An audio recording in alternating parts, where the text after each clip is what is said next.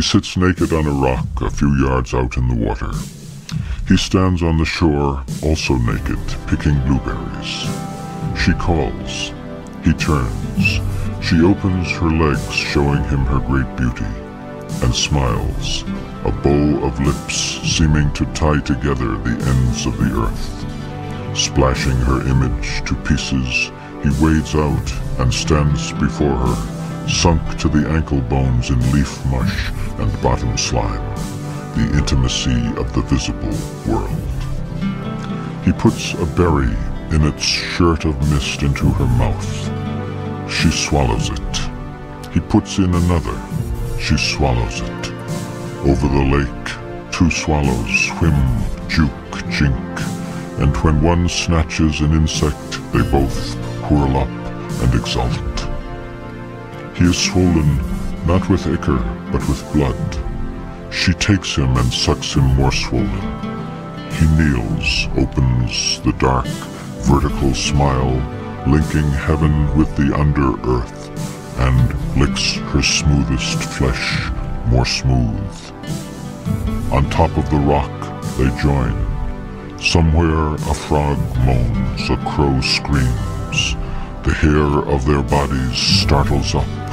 They cry in the tongue of the last gods, who refused to go, chose death, and shuddered in joy and shattered in pieces, bequeathing their cries into the human mouth. Now in the lake, two faces float, looking up at a great maternal pine whose branches open out in all directions, explaining everything. She sits naked on a rock a few yards out in the water. He stands on the shore, also naked, picking blueberries. She calls. He turns. She opens her legs, showing him her great beauty, and smiles, a bow of lips seeming to tie together the ends of the earth. Splashing her image to pieces, he wades out and stands before her, sunk to the ankle bones in leaf mush and bottom slime, the intimacy of the visible world. He puts a berry in its shirt of mist into her mouth. She sits naked on a rock a few yards out in the water. She sits naked on a rock a few yards out in the water. He stands on the shore, also naked, picking blueberries. She calls. He turns.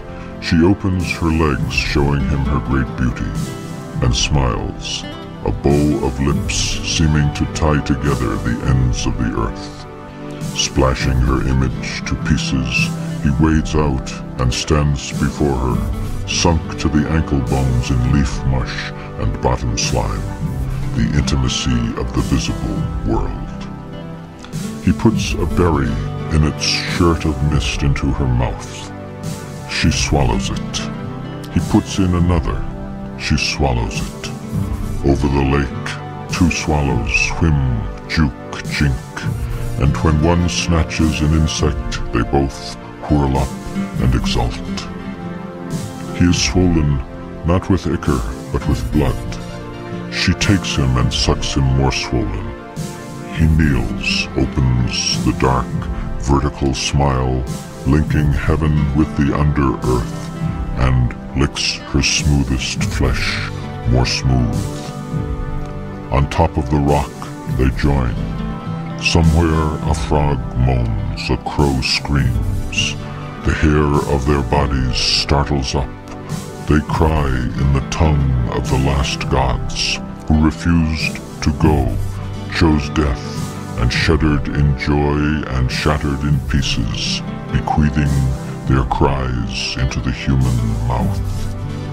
Now in the lake, two faces float, looking up at a great maternal pine whose branches open out in all directions, explaining everything, mush and bottom slime, the intimacy of the visible world.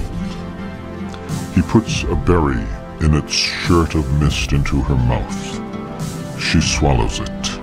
He puts in another. She swallows it. Over the lake, two swallows swim, juke jink, and when one snatches an insect, they both whirl up and exult. He is swollen not with ichor, but with blood.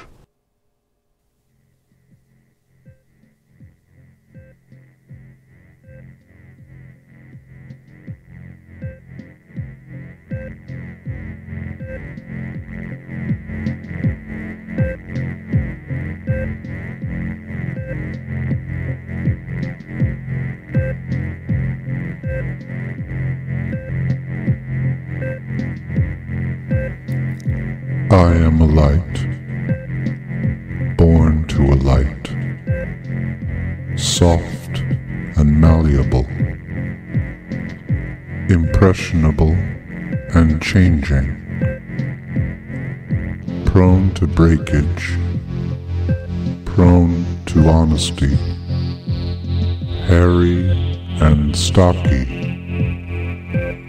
one foot on the ground happy to let the workers go around me, fill in for everything I could not do. For them, I was creation, a voice of the innocent, something to cherish, guard, hold on to. But as time moves forward, I became a dependent who was depended upon. Real world gamblings, those who needed me. I tried to remain solid although I was still not firm. And for my efforts, I never became free. Swept out to sea, nuking the serpents,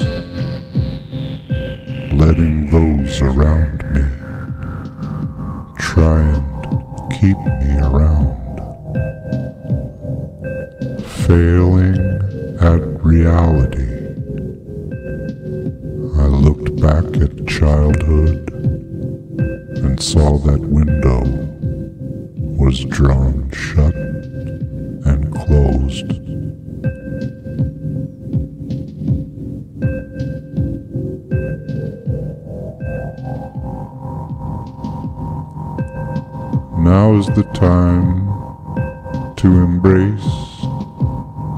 femininity to be so frail that I don't get much done. Yes, I was overtaken willingly and without reservation. Praying to God to accept what I've done. As it seems, the harder I try, the deeper I dig. The mud walls around me always crumbling again. Time to take with me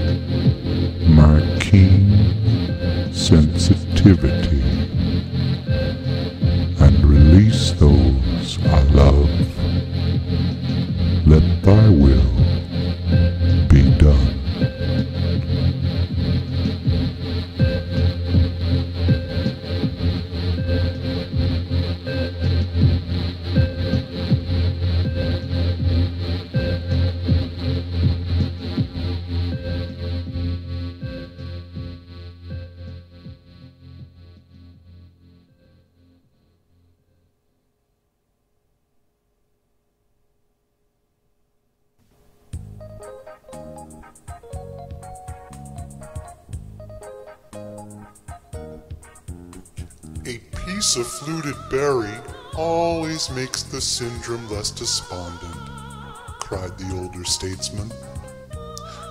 Within the confines of the universe, 45 were rationed. As it stood, the little frog only had a day's worth. Before his larger seedlings took root, every being was free within his or her approved mineral. On days like these, you could just smell the flowers first perk, enjoy the ripple on blades of green dander, even eat a twist of moonfisk just before market. Always the positive fellow, Margenschen licked the last of his seeds from his back sack full of wonder. What a joy was creation! Let's venture now into its inner working. Travel with me as I lift your spirit and engage the senses. Run with my laughter. See the fellow? He's not shining with purple light. He captures all color in his backpack. Not to scare, though. With a whisper, he can fold back into the light of morning. Round the corner now to three maidens bathing. Not to embarrass, only to function. Bathing maidens never feign glory. Only they can produce liberty. Only beauty can embrace freedom. Deflect the burden of character, not to ignore its place in the life force, but merely to stir up its capacity. There, in the smallest little crevice within the tiniest crack in the most miniature groundswell lies the circle. Lift up the tender morsel. It vibrates and tries to leave the palm. Its fear is as ancient as our love. Its apprehension makes the flavor all the sweeter. Let it fall, but only once. See it crying or dancing or morphing. One can never be sure. It's trying to twist its circulation, become a different form of matter. It's looking like it might disappear. Behold, it's back with us, transformed, enlightened, a bulb of quality, a comfort to us all. The universe smiles in appreciation. What a fantastic freedom we are experiencing. Stay within the journey, statesman. Stay within. There was never a blink of regret with our love. It's just a final release. The totality of labor, life force, and creation.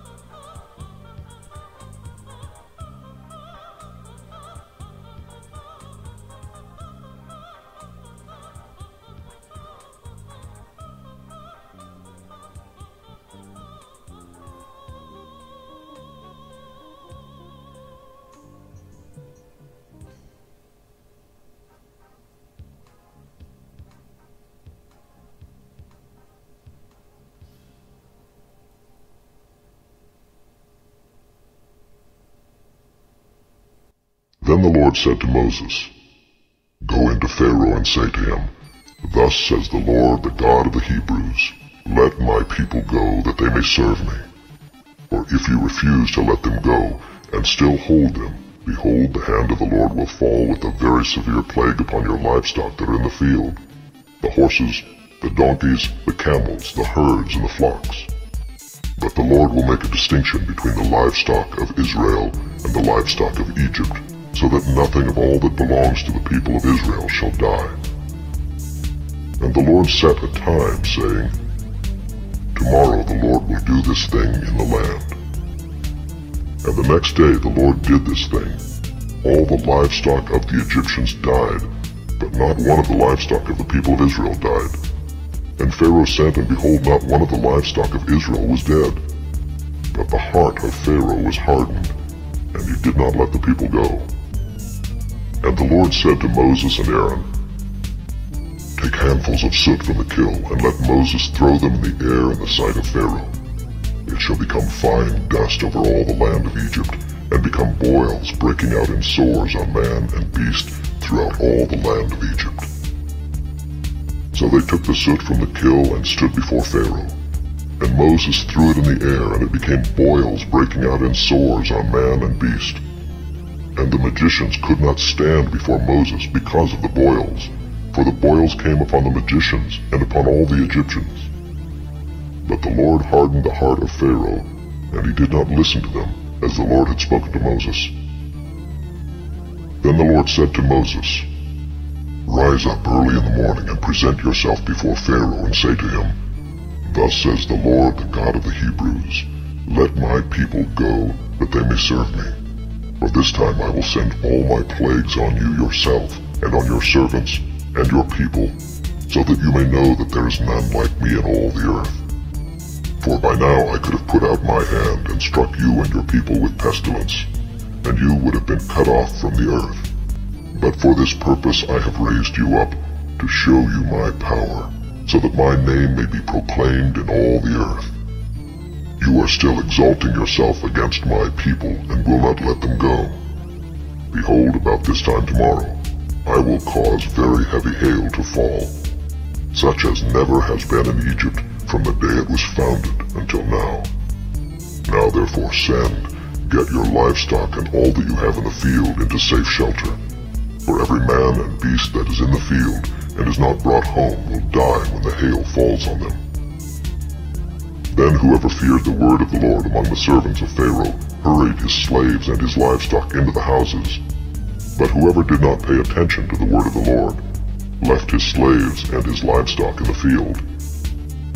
Then the Lord said to Moses, Stretch out your hand toward heaven, so that there may be hail in all the land of Egypt, on man and beast, and every plant of the field in the land of Egypt. Then Moses stretched out his staff toward heaven, and the Lord sent thunder and hail, and fire ran down to the earth. And the Lord rained hail upon the land of Egypt.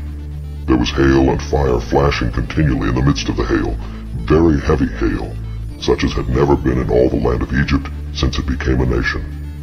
The hail struck down everything that was in the field in all the land of Egypt, both man and beast. And the hail struck down every plant of the field, and broke every tree of the field. Only in the land of Goshen where the people of Israel were, was there no hail. Then Pharaoh sent and called Moses and Aaron and said to them, This time I have sinned. The Lord is in the right, and I and my people are in the wrong. Plead with the Lord, for there has been enough of God's thunder and hail. I will let you go, and you shall stay no longer. Moses said to him, As soon as I have gone out of the city, I will stretch out my hands to the Lord. The thunder will cease, and there will be no more hail, so that you may know that the earth is the Lord's. But as for you and your servants, I know that you do not yet fear the Lord God. The flax and the barley were struck down, for the barley was in the ear and the flax was in bud. But the wheat and the emmer were not struck down, but they are late in coming up. So Moses went out of the city from Pharaoh and stretched out his hands to the Lord, and the thunder and the hail ceased, the rain no longer poured upon the earth. But when Pharaoh saw that the rain and the hail and the thunder had ceased, he sinned yet again, and hardened his heart, he and his servants. So the heart of Pharaoh was hardened, and he did not let the people of Israel go, just as the Lord had spoken through Moses. There's no She uh, grew old. significance in these four She made ready to die. Aerial poems. They She gave counsel to women and men, to young girls and young boys. New poems by She remembered her grief. called the series, She remembered which her were often illustrations during those four years. She accused public She forgave. Friends, She learned Romans, countrymen, lend me your ears. I come to bury Caesar, not to praise The evil that men do lives after them. The good is oft interred with their bones. So let it be with Caesar. The noble Brutus hath told you that Caesar was ambitious. If it were so, it was a grievous fault, and grievously hath Caesar answered it. Here, under leave of Brutus and the rest, for Brutus is an honorable man, so are they all, all honorable men. Come I to speak at Caesar's funeral. He was my friend, faithful and just to me. But Brutus says he was ambitious, and Brutus is an honorable man. He hath brought many captives home to Rome, whose ransoms did the general coffers fill. Did this in Caesar seem ambitious? When that the poor have cried, Caesar hath wept. Ambition should be made of sterner stuff. Yet Brutus says he was ambitious, and Brutus is an honorable man. You all did see that on the Lupercal I thrice presented him a kingly crown, which he did thrice refuse. Was this ambition? Yet Brutus says he was ambitious, and sure he is an honorable man. I speak not to disprove what Brutus spoke, but here I am to speak what I do know. You all did love him once, not without cause. What cause withholds you then to mourn for him? O judgment, thou art fled to brutish beasts, and men have lost their reason. Bear with me. My heart is in the coffin there with Caesar, and I must pause till it come back to me. Bear with me.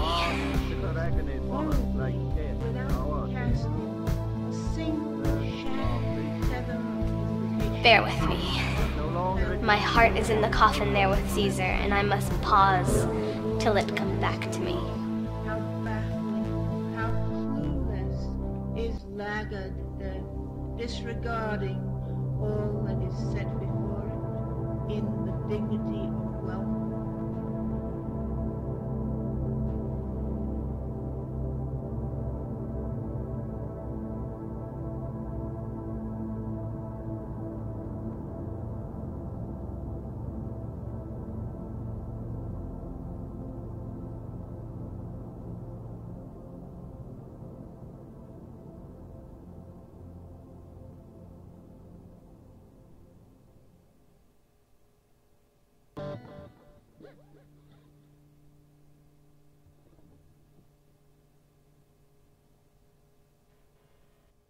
Then Naomi, her mother-in-law, said to her, My daughter, should I not seek rest for you, that it may be well with you? Is not Boaz our relative with whose young women you were? See, he is winnowing barley tonight at the threshing floor.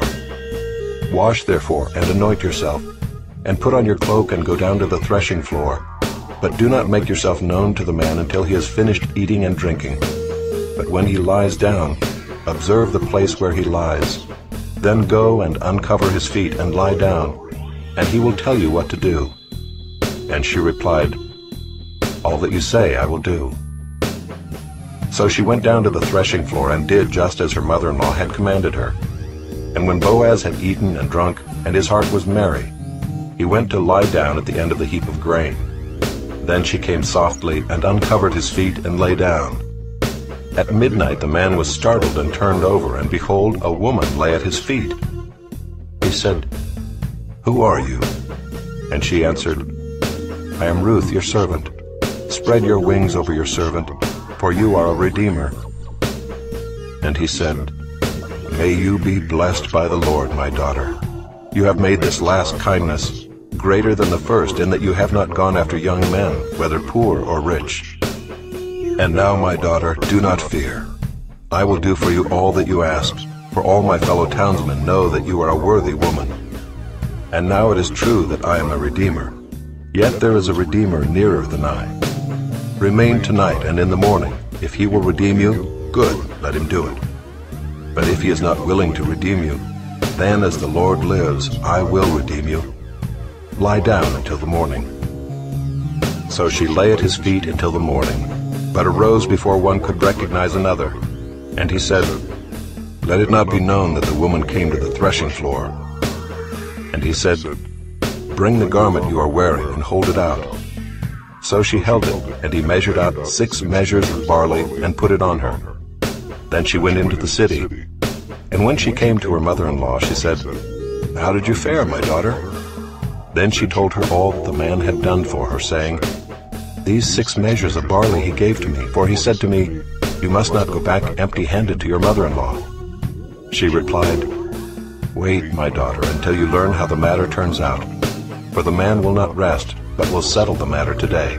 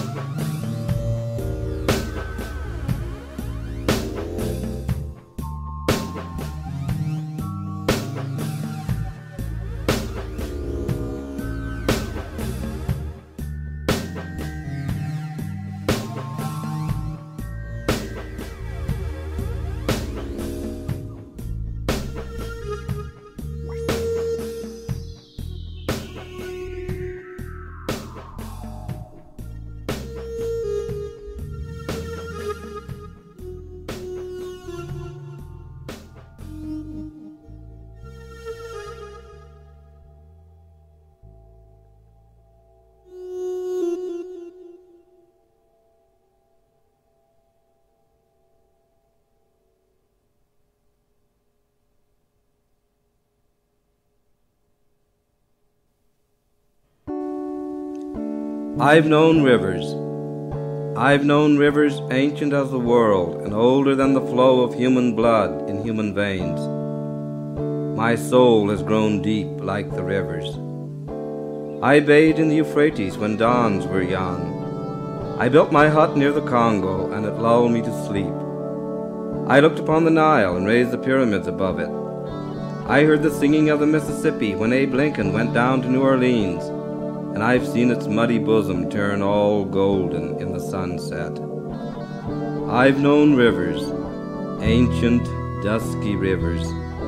My soul has grown deep like the rivers.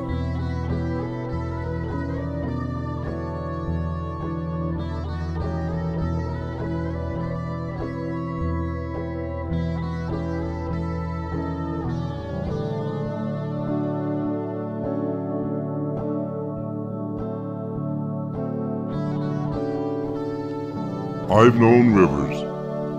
I've known rivers ancient as the world and older than the flow of human blood in human veins. My soul has grown deep like the rivers. I bathed in the Euphrates when dawns were young. I built my hut near the Congo and it lulled me to sleep. I looked upon the Nile and raised the pyramids above it. I heard the singing of the Mississippi when Abe Lincoln went down to New Orleans and I've seen its muddy bosom turn all golden in the sunset. I've known rivers, ancient, dusky rivers. My soul has grown deep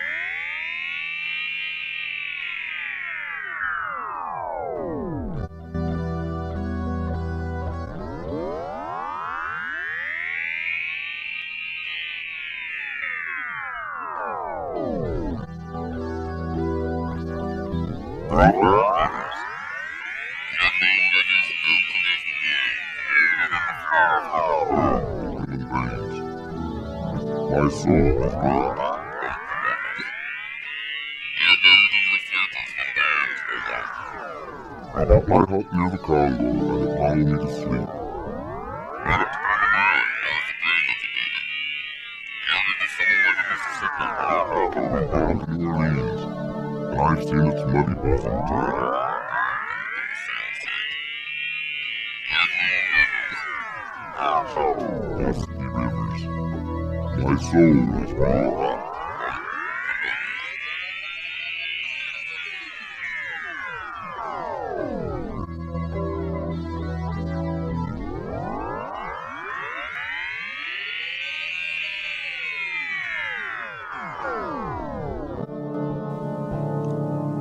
known rivers, I've known rivers ancient as the world and older than the flow of human blood in human veins. My soul has grown deep like the rivers. I bathed in the Euphrates when dawns were young. I built my hut near the Congo and it lulled me to sleep. I looked upon the Nile and raised the pyramids above it.